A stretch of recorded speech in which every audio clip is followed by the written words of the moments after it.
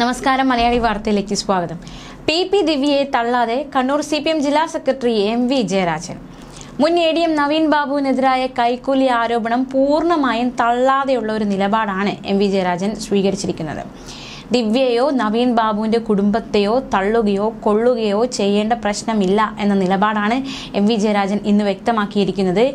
കൈക്കൂലി വാങ്ങിയെന്നും ഇല്ലെന്നും രണ്ട് അഭിപ്രായം ഉയർന്നു വന്നുവെന്നും എം വി ജയരാജൻ ചൂണ്ടിക്കാണിച്ചു. ഇതിന്റെ നിജസ്ഥിതി അറിയണം. സമഗ്രമായ അന്വേഷണം വേണം എന്നതടക്കമുള്ള ആവശ്യം അദ്ദേഹം മുന്നോട്ട് വച്ചിരിക്കുകയാണ്. നവീൻ ബാബുവിന്റെ മരണത്തിൽ സമഗ്രമായ അന്വേഷണം വേണമെന്നാണ് പാർട്ടി നിലപാടെന്ന് എം വി ജയരാജൻ പറഞ്ഞു. കൈക്കൂലി ആരോപണത്തിൽ രണ്ടു പക്ഷമുണ്ട്. ദിവ്യയെയോ നവീൻ ബാബുവിന്റെ കുടുംബത്തെയോ തള്ളുകയോ കൊള്ളുകയോ ചെയ്യേണ്ട പ്രശ്നമില്ല. പെരിങ്ങോം ഏരിയ സമ്മേളനത്തിലായിരുന്നു ജയരാജൻ അദ്ദേഹത്തിന്റെ നിലപാട് വ്യക്തമാക്കിയത്.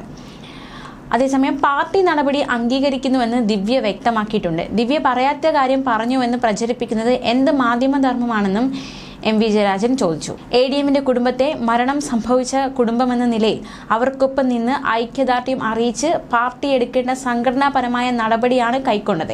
എ ഡി എം കൈക്കൂലി വാങ്ങിയെന്ന് ഒരു കൂട്ടർ പറയുന്നു. ഇല്ലെന്ന് മറ്റൊരു കൂട്ടർ പറയുന്നു. നിജസ്ഥിതി നാടിന് അറിയേണ്ടതുണ്ട് എന്നും എം വി ജയരാജൻ പറഞ്ഞു. അതേസമയം പറയാനുള്ളത് പാർട്ടി വേദിയിൽ പറയുമെന്ന് പ്രഖ്യാപിച്ച കണ്ണൂർ ജില്ലാ മുൻ panchayat president P P Divya party control കമ്മീഷനെ സമീപിക്കാൻ ഒരുങ്ങുന്നു എന്ന റിപ്പോർട്ടുകൾ പുറത്തുവരുന്നുണ്ട് തനിക്കെതിരെ പാർട്ടി സ്വീകരിച്ച നടപടി ഏകപക്ഷീയവും സംഘടനാ തത്വങ്ങൾക്ക് നിരക്കാത്തതുമാണെന്ന അഭിപ്രായം ദിവ്യയ്ക്കുണ്ട് എന്നാണ് വിലയിരുത്തൽ. ജയിലിൽ നിന്ന് പുറത്തിറങ്ങിയതിനു ശേഷം തന്നോട് വിശദീകരണം തേടാമായിരുന്നുവെന്ന തരത്തിൽ ചില നേതാക്കളോട് ദിവ്യ സംസാരിച്ചിരുന്നു എന്ന വിവരങ്ങളും പുറത്തുവരുന്നുണ്ട് എന്തായാലും ദിവ്യയുടെ അടുത്ത നീക്കം എന്താണ് എന്ന് ഇവർ മുറ്റുനോക്കുന്നുണ്ട്. മാത്രമല്ല കഴിഞ്ഞ ദിവസം ദിവ്യ ഫേസ്ബുക്കിലൂടെ പറഞ്ഞത് ഇപ്രകാരമാണ് എന്റെ പ്രതികരണം എന്ന നിലയിൽ ഇപ്പോൾ മാധ്യമങ്ങളിൽ വന്നുകൊണ്ടിരിക്കുന്ന വാർത്തകൾ തന്റെ അഭിപ്രായമല്ല.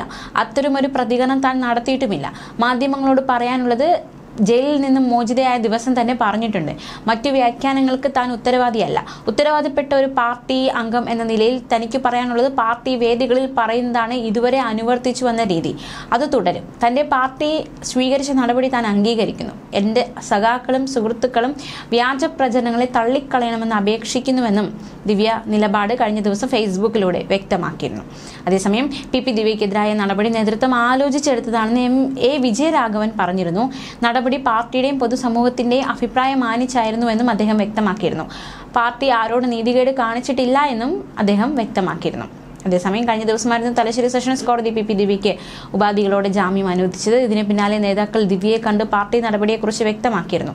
തരം താഴ്ത്തൽ നടപടിക്ക് മുമ്പായി തന്റെ ഭാഗം കേൾക്കാൻ പാർട്ടി തയ്യാറായില്ല എന്നത് ചൂണ്ടിക്കാട്ടി ദിവ്യ അതൃപ്തി പ്രകടിപ്പിച്ചു എന്നായിരുന്നു തുടക്കത്തിൽ വന്ന റിപ്പോർട്ടുകൾ. പക്ഷേ ഉച്ചയോടെ ഈ റിപ്പോർട്ടുകളെല്ലാം തള്ളി ഈ ഒരു നടപടിയെ താൻ അംഗീകരിക്കുന്നു. തനിക്ക് പറയാനുള്ളത് പിന്നീട് വ്യക്തമാക്കുമെന്നതടക്കമുള്ളൊരു വിശദീകരണമായിരുന്നു ദിവ്യ പിന്നീട് ഫേസ്ബുക്ക് കുറിപ്പിലൂടെ അറിയിച്ചത്.